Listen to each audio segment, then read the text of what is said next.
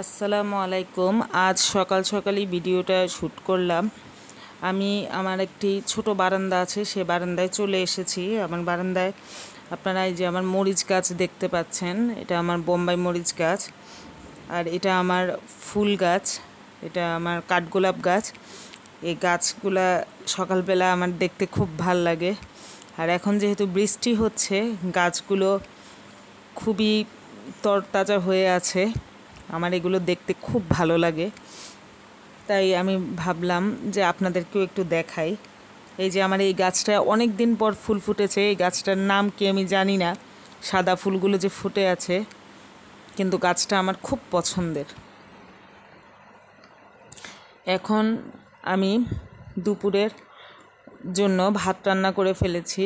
এখন আমি ভাতের মারগালাটা দেখাবো। হয়তো আপনারা বলবেন যে মারগালা এটা আবার দেখানোর কি আছে? এটা আসলে মূলত আমি আমার ব্যাচেলার ভাইদের জন্য দেখাচ্ছি। আর যারা মার গালতে ভয় পান, তাদের জন্য এই ক্লিপ দিয়ে খুব সহজেই সিঙ্কের মধ্যে মার গালা যায়। এই যে দেখেন, আমি কি সহজে মারটা গাললাম।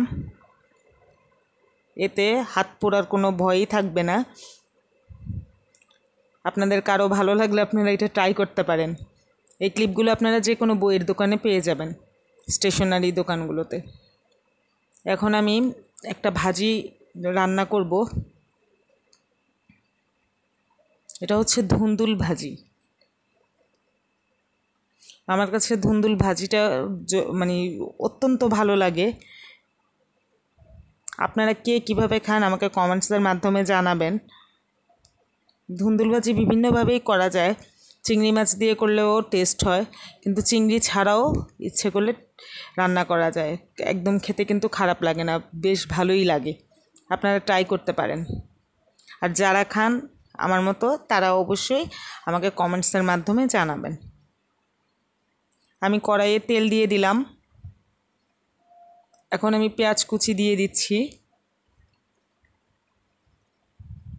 সাথে কাঁচামরিচ। আমি অল্প করে দিয়েছি কাঁচামরিচ, যেহেতু আমি তো আগের ভিডিওতেও বলেছি আমার ঘরে বাচ্চা আছে, আমার ওই চিন্তা করে সব রান্না করতে হয়।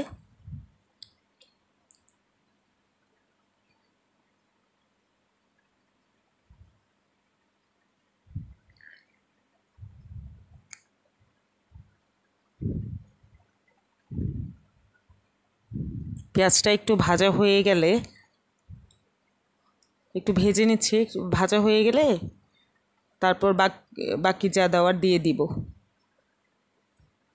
আপনারা দেখুন আমি পেঁয়াজটা ভেজে নিচ্ছি।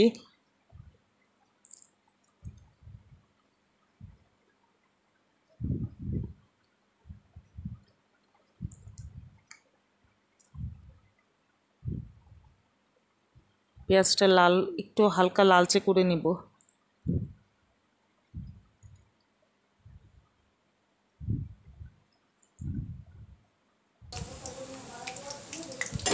পেঁয়াজটা হালকা লাল হয়ে এসেছে। এখন আমি এর মধ্যে একটু হলুদ গুঁড়া দিয়ে দিব, সামান্য পরিমাণ। এই যে হলুদ গুঁড়া দিয়ে দিলাম। দিয়ে এখন একটু নেড়ে নেব।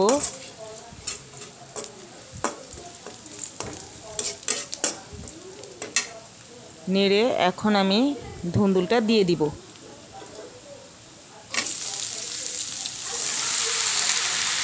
ধুন্দুলটা আমি আগে কেটে ধুয়ে পানি ঝরিয়ে রেখেছিলাম। ধুন্দুল ভাজি করার সময় কিন্তু এক্সট্রা কোনো পানি দিতে হয় না, যেহেতু ধুন্দুলের থেকে প্রচুর পানি উঠবে।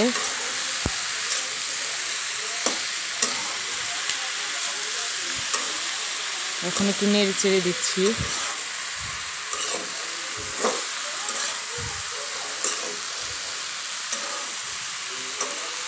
যে আপনারা দেখতেই পাচ্ছেন, আমি একটু নেড়ে চেড়ে দিচ্ছি।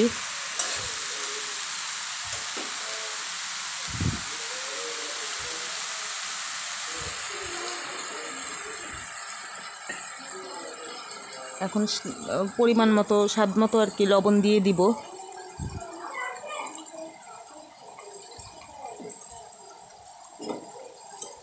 লবণটা দিয়ে আবার একটু নেড়ে নিচ্ছি।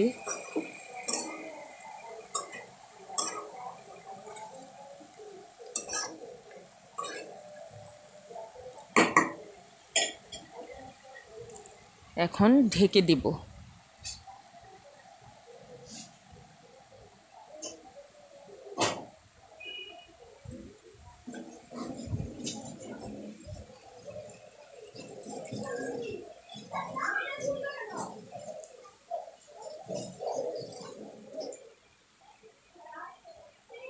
এই যে ঢেকে দিলাম।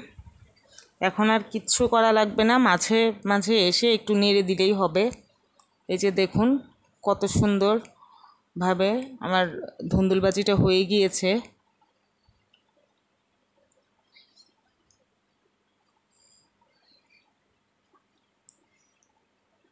আপনারা আরেকটু শুকাতে চাইলে আরেকটু শুকাতে পারেন, কোনো সমস্যা নেই।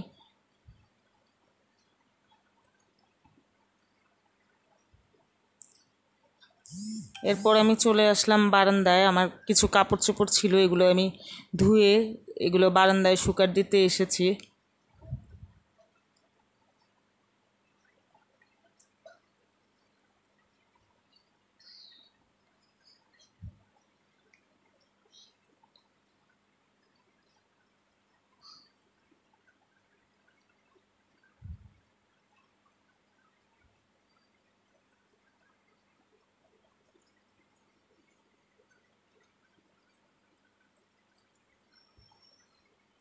এখন এই লকডাউনে মনে হয় কাপড় চোপড় আরও বেশি জমে যাচ্ছে। আর যেই মানে বৃষ্টি হচ্ছে ঠিকই, কিন্তু গরমটা তো আসলে কমছে না, তাই দেখা যায় যে কাপড় টাপড় আরও একটু বেশি বেশি ময়লা হয়, ঘেমে ময়লা হয়ে যায়। বারবার চেঞ্জ করতে হয় কাপড়, এই অবস্থা। আর এমনি নর্মালি আমাদের ঘরে আমরা মানুষ বেশি, যেহেতু পাঁচজন মানুষ, আমাদের কাপড় চোপড় একটু বেশিই হয়। আমি মাঝে মধ্যে হাতেই কাপড় ধুয়ে ফেলে আবার বেশিরভাগ সময় আমি ওয়াশিং মেশিনেই কাপড় ধুই, কিন্তু বা হাতেও ধোয়া হয়। হাতে যে ধোয়া হয় না তা বলব না। হাতেও ধুই।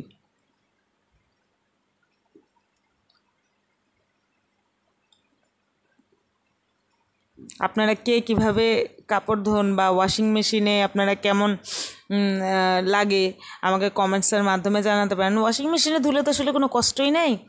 কিন্তু তারপরও আমার কাছে মনে হয় হাতে ধোয়াটা পরিষ্কার হয় বেশি। যদিও এখন তো আমাদের মেয়েদের জন্য অনেকেরই কষ্টকর, যাদের বেশি মানে বিশেষ করে সিজার হয়েছে, তাদের জন্য তো খুবই কষ্টকর হয়ে যায়। আসলে যাদের সিজার হয়েছে তারাই বোঝে, কোমরের পেইন থাকে প্রচুর।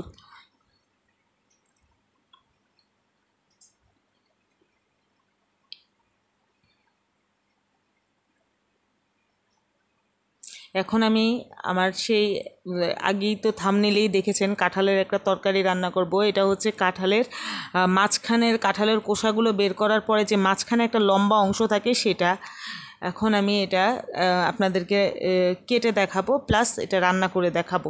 আপনারা দেখতে থাকুন, এই যে আমি এটা কেটে নিচ্ছি, এই যে বটুর অংশটা আমি কেটে নিলাম।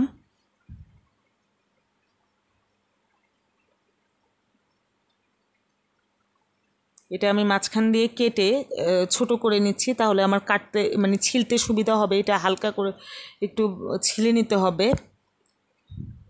এই যে আমি ছিলে নিচ্ছি, আপনারা দেখতে পাচ্ছেন। যারা এটা খেয়েছেন আগে তারা আমাকে অবশ্যই কমেন্টসের মাধ্যমে জানাবেন। আর যারা খাননি, যদি আমার রান্নাটা আপনাদের ভালো লাগে, তাহলে অবশ্যই আমাকে কমেন্টসের মাধ্যমে মানে ট্রাই করলে আপনারা বাসায় অবশ্যই আমাকে, আপনারা কমেন্টসের মাধ্যমে জানাবেন। কাঁঠালের আসলে কোনো কিছুই ফেলনা যায় না।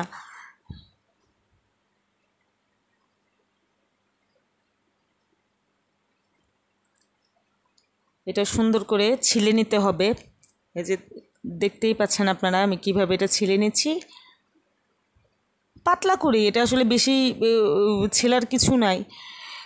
এটা পাতলা করেই ছিলতে হবে। ছিললে একদম ঠিক কচুর মতো, কচুর ভিতরের অংশটা যেরকম, এরকম একটা অংশ বের হবে।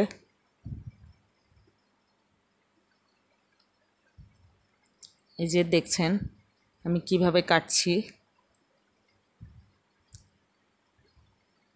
একটু হাতে আঠা লাগবে, এটা তো কাঁঠাল বলে কথা। আপনারা গ্লাভস পরে নিতে পারেন, আমি একটা ভুল করেছি যেটা গ্লাভস না পরে কাটতে গিয়েছিলাম। আপনারা অবশ্যই গ্লাভস পরে নেবেন বা হাতে পলিথিন দিয়ে নেবেন, তাহলে আর আমার মতো এমন হবে না।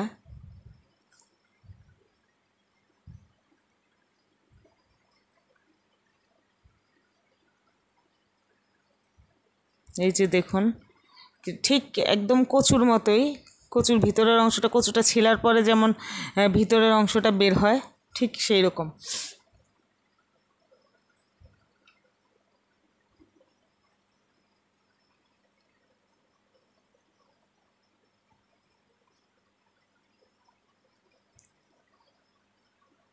এগুলো ভালো করে ছেড়ে নিচ্ছি।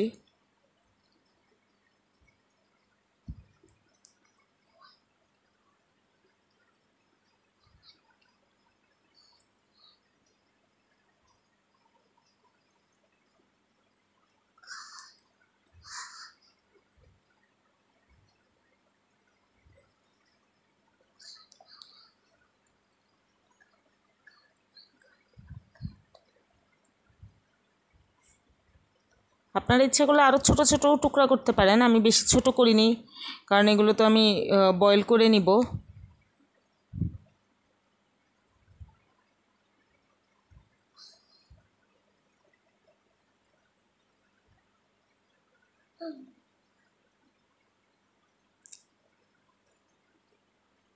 এভাবে পলিথিন দিয়ে পলিথিন রেখে এরপরে কাটবেন, তাহলে আপনাদের সুবিধা হবে। কোথাও আঠা, কষগুলো লাগবে না। আর এই যে আমি ধুয়ে নিচ্ছি এগুলো ভালো করে।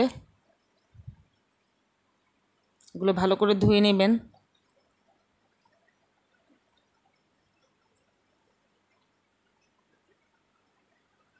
এই যে আমি ধুয়ে নিচ্ছি।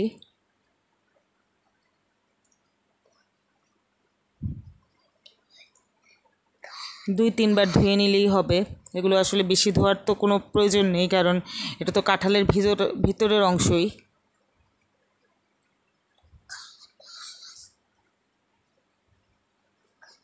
যে আমি আবার ধুয়ে নিলাম। আমি দুইবার ধুয়ে নিয়েছি।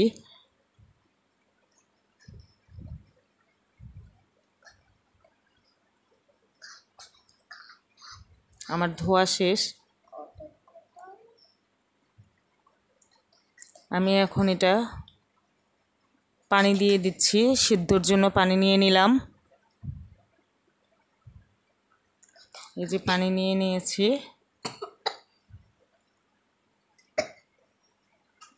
এই যে এখন আমি এর মধ্যে পেঁয়াজ কুচি, সামান্য পেঁয়াজ কুচি, আদা বাটা, রসুন বাটা অল্প অল্প করে দিয়ে দিচ্ছি।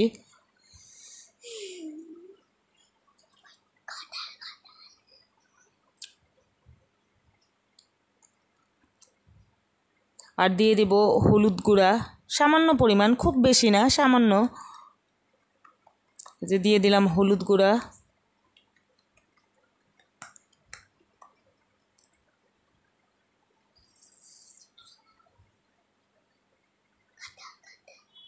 লবণ। আর দিব সামান্য মরিচের গুঁড়া।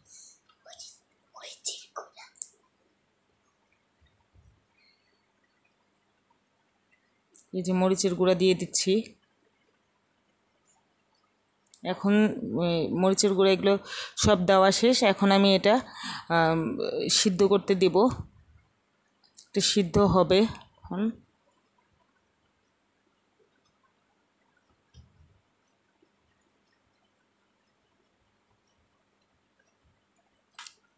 একটু গুলিয়ে দিচ্ছি। পানির সাথে আর কি মিশিয়ে দিলাম।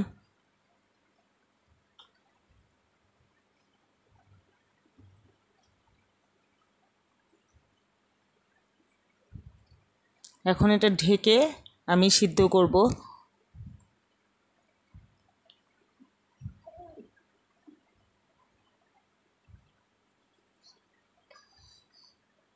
ঢাকনা দিয়ে দিলাম, এই যে এখন আমি ঢেকে এটা সিদ্ধ করব।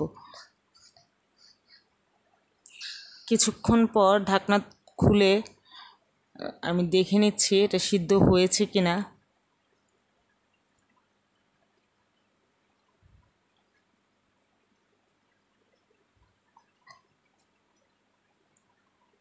মোটামুটি সিদ্ধ হয়ে এসেছে। পানিটা ইচ্ছে করলে আপনারা আরেকটু কমিয়ে নিতে পারেন। যদি আপনারা পাটায় বাটেন, আমি এগুলো বেটে নিব। আপনারা যদি পাটায় বাটেন, তাহলে আরেকটু শুকিয়ে নেবেন। আর যদি ব্লেন্ডারে করেন, তাহলে হালকা পানি রাখবেন। পানি সহ নামিয়ে পরে একটু মানে ঠান্ডা হলে এরপর ব্লেন্ডারে দিয়ে ব্লেন্ড করে নেবেন। এই যে আমি বেটে নিয়েছি, আপনারা দেখতে পাচ্ছেন। আমি কড়াই বসিয়ে দিয়েছি, এখন আমি এটা আবার রান্না করব। তেল দিয়ে দিলাম।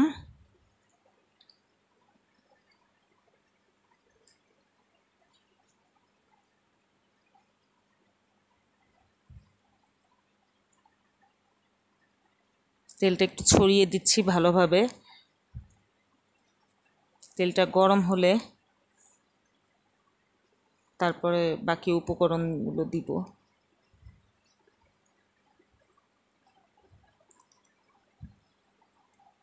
তেলটা গরম হয়ে গিয়েছে যে আমি দুটো ছোট ছোট তেজপাতা নিয়েছি, মাঝখান দিয়ে চিড়ে। তেজপাতা দিয়ে দিলাম, আর জিরা নিয়েছি, শুকনো মরিচ। শুকনো মরিচটা আগে দিয়ে দিচ্ছি। শুকনো মরিচ দিলাম, এই যে জিরা। অল্প, সামান্য পরিমাণে জিরা, বেশি নিইনি, আর দুটো কাঁচামরিচ ফেটে নিয়েছি।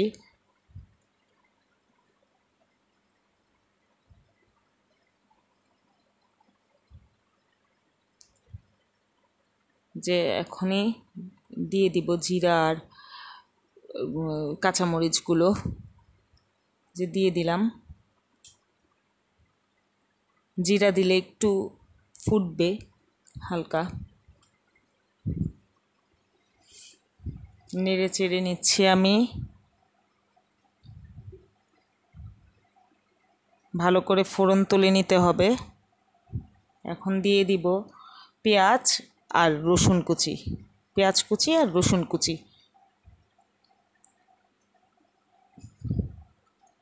পেঁয়াজ আর রসুন কুচিটা ভালো করে ভেজে নিতে হবে। আমরা ডালের বাগানের জন্য যেভাবে ভাজি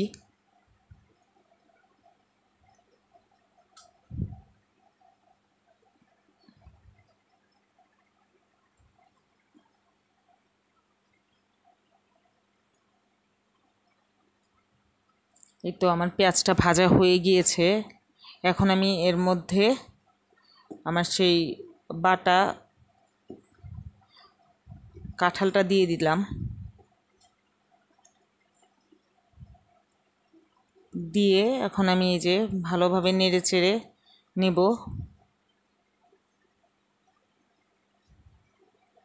এটা ভালো করে একটু রান্না করে নিলেই হবে, ভালো ভাজা ভাজা করে নিলে।